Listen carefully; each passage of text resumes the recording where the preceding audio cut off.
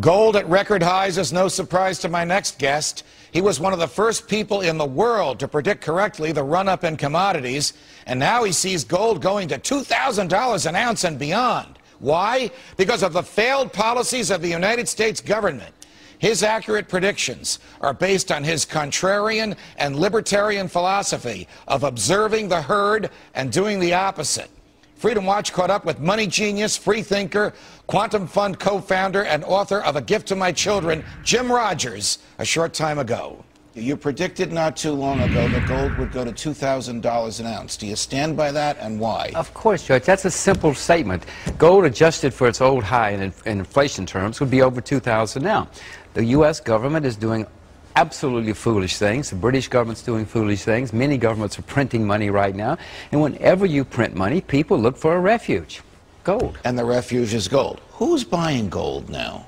Well, a lot of people. It's a lot of big names on Wall Street are buying gold. The public is buying gold to some extent, but the public is also selling gold.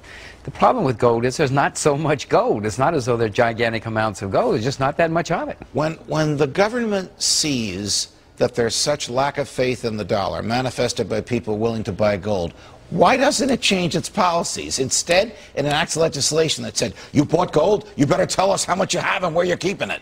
Judge, you, do you really think that they're going to admit that they made mistakes? They're going to blame it on you.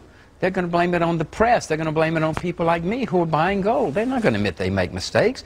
Politicians never make mistakes. What's wrong with you? All right. What, what happens when people buy huge amounts of gold and store it in some facility. Is that the functional equivalent of putting all that cash in a shoebox under your bed?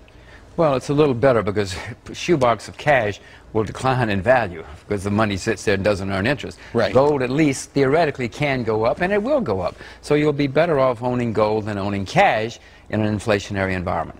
But, but the people who don't like gold, the people who, like FDR, would like to confiscate gold, the people who separated the dollar from the gold standard, uh, will make the argument that, you know, all those rich people are parking their money in the hands of those who sell the gold, and that's cash that should be circulating in the economy. Wait a minute, what do Judge. you say to that? Hold on, wait a minute. Miners have jobs when the price of gold goes up. People that take the gold out of the earth. Yes, those people have gold. People who transport, people who process, people who sell gold. It's more jobs. What, what are they talking about? And if you're worried about that, Judge, buy silver.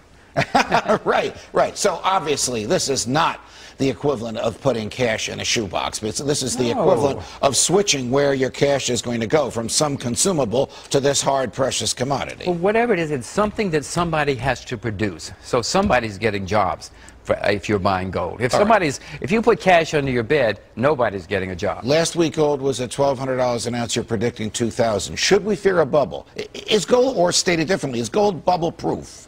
No, no, will, it will end in a bubble. Someday there'll be a huge bubble. And someday, every, you walk down the street in New York or Minneapolis, anywhere, people will be buying gold all over the place. Then you sell. It will be. It will end in a bubble. They always do. Is silver a good buy today? I'd rather buy silver than gold. I own both. Okay. Gold is at all-time highs. Silver is 60% below its all-time high. So I'd, I'd rather buy silver, but I own both. All right. Uh, switching gears, free trade. The government doesn't want us to be able to buy inexpensive goods from, let's say, for example, you know what I'm going to say, China. Now, isn't it desirable? Don't I really want to trade an hour of my wealth for as many hours of goods and services as I can get? Why would I buy a pencil for a dollar if I could buy four for a dollar from China? Of course. I mean, it's, it's free trade has been demonstrated millions of times to be good for everybody. Nobody's ever won a trade war, Judge. Nobody has ever won a trade war in history. It's better to be able to buy the people who can produce suits cheaper than other people. You should buy suits from them. What would you say to the Paul Krugmans of the world who say, "Oh, you're going to put Americans out of work. You're going to ship those jobs overseas"?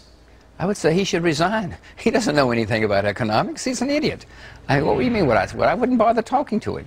But but first, what first would you say about his Okay, argument? all right. Look, okay. If we can buy four suits instead of one suit, or four pencils instead of one, then we have money to spend on other things, which we can spend here in America on American goods and American right. services, American anything. Right. You have more money to spend on other things. Is the president so blinded by ideology that he doesn't understand economics 101? I don't know why he doesn't understand Economics 101, but the, remember, the man six years ago was a community organizer. He doesn't know anything about economics. He barely knows much about the world. He, he has very little experience in anything. Why won't he take note of what's happening to gold and say, I must be doing something wrong with cash? Because the people who vote for him have, are saying the other thing.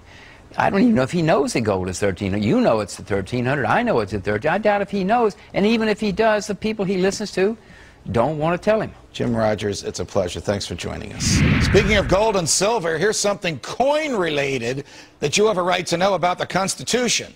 The Constitution says the federal government has the right to coin money and to regulate its value. It doesn't permit the federal government to print money. The founders knew the dangers of printing as much money of any arbitrary value as the government wished, and so they prohibited it. The Coinage Act of 1792 one of the very first laws Congress enacted, created the U.S. Mint, and it produced gold and silver coins, not paper money. The amount of gold and silver in each coin was carefully monitored. Indeed, the Coinage Act specified, are you ready for this? The death penalty for anyone in the government who, by fraud or embezzlement, debased the value of these metal coins. Today, Money is paper and it's worthless, thanks to the Federal Reserve. I wonder how today's Federal Reserve Board would behave if it faced a similar restraint on its ability to decrease the value of a dollar. Oh, it would be a different and far more prosperous world.